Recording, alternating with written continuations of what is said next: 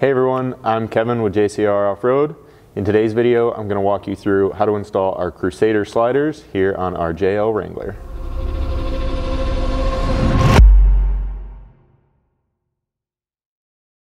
So we'll start things off with a little bit of assembly to the slider itself. I'll begin by bolting the lower skid section here to the bottom of the slider boat. For that, you just have to get them oriented properly. You'll have to kind of make sure you've got your left and right by making sure mostly these holes here in the back flange line up and that the cutouts line up with the holes along the back edge of the slider as well. Once you've got that determined, go ahead and just drop the slider down into the skid. Once you get that in, it's just gonna be a matter of lining up the eight holes, four along this front flange, four more along the back, and then installing eight of the 5 16 black button head bolts along with serrated flange nuts on the inside. It's gonna be a good idea to just leave these all loose until you get them all lined up and in place and then come back through with a 3 16 hex and tighten those up. Next you can find the clip nuts in your bolt pack. You're gonna have two different sizes of these, both 5 16 and a smaller M6. The 5 16 are gonna go in the two lower holes at each step location down here to secure the step in place, along with the M6 going in the three holes here along the back at this front step location and two at the rear step. So if you've never used these before, you just want to make sure that the longer threaded portion winds up down at each hole location and they'll simply slide on and kind of snap into place.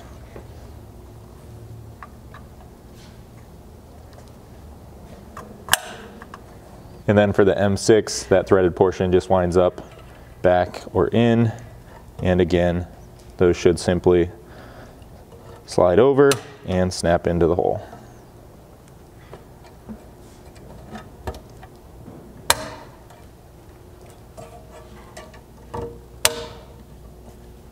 Next, we'll get our rock lights installed into each end of the slider boat.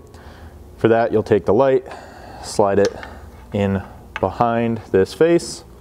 Then you'll want to find the number eight button heads along with nylock nuts and get each of those started loosely by hand. Then you'll need a 3 32 hex and an 11 32 wrench or socket to hold the nut side.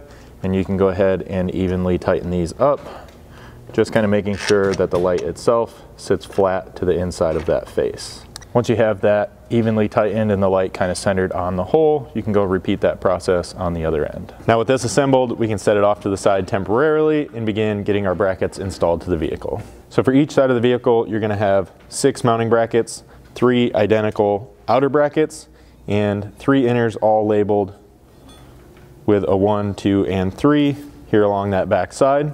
Those are gonna install in that order from front to rear. So we'll start off with bracket number one along with this outer bracket. So we're starting out with, again, bracket number one. This is the inner bracket. And then you're gonna need to find the M8 flanged hex head bolt here in your bolt pack.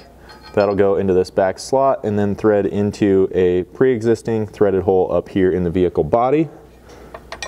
And then this should simply line up with the two existing factory holes here out in this pinch seam. We're gonna kind of just thread this most of the way in by hand, leaving ourselves just a little bit of room for adjustment as we get the remaining brackets installed. Next, we can install the outer bracket here to the outside of this lower pinch seam. For that, you'll want 5 16 hex head bolts from your bolt pack along with washers.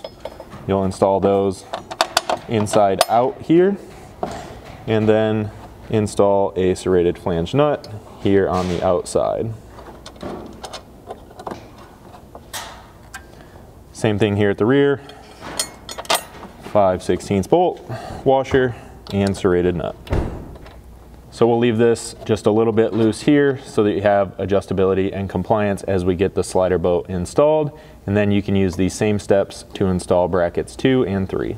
So then once you have all three sets of these brackets installed here on the pinch weld, we can now grab our slider boat and get it back in here and this will give us something to kind of hang it on and position it while we get our 5 16 button head started through the top flange and into these pre-installed nuts. Then down on the bottom side through all of these holes here you'll use that same 5 16 hex head with a washer and flange nut like we used up here.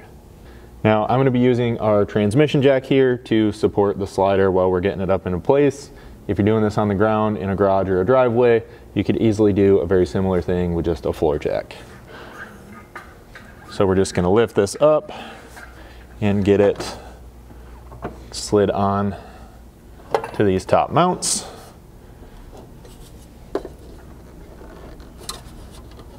And then line up the holes and install those button head bolts through the top here.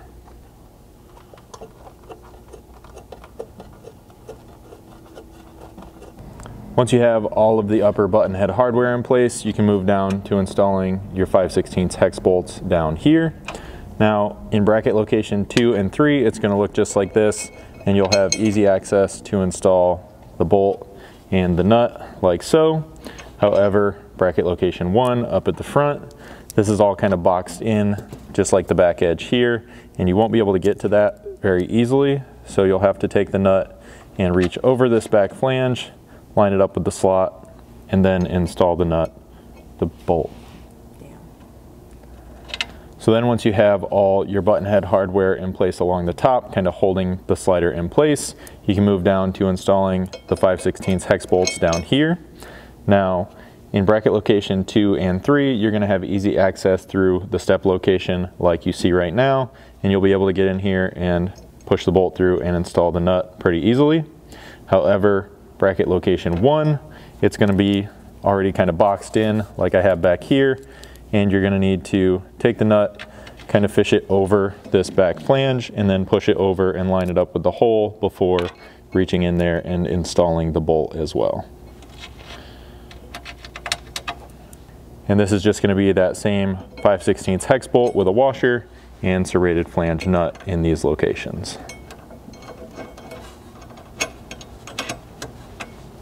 Now at this point, you'll grab your step inserts and your accent logo tread plates. You'll take the step insert, kind of start with one end in, then drop this down and slide it back the other way to line up your mounting holes. When you drop the tread plates in, just pay attention to the logo to make sure that reads properly.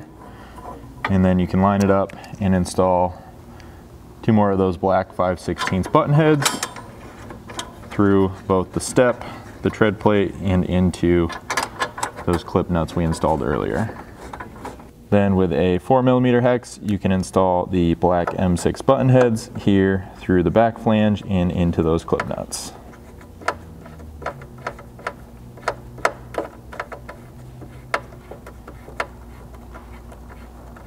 Once you have all the mounting hardware for the step and tread plate in place, you can tighten that up and install the rear step using that same process.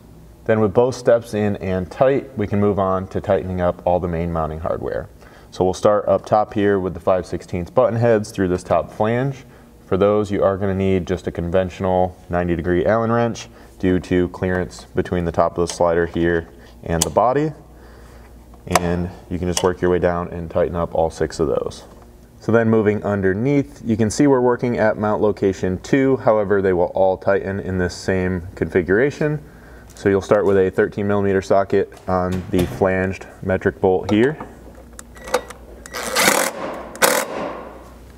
And then you can switch to a half inch socket to tighten all the 5 16 hardware between the pinch weld here and the slider.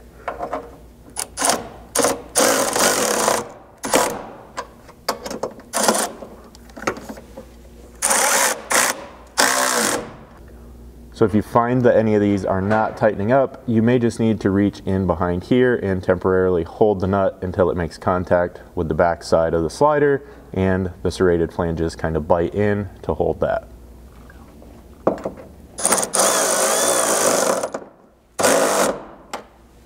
And now with everything tight, the last thing to do is gonna be to wire in your rock lights, which is kind of up to you because there's obviously a lot of ways those could be tied in.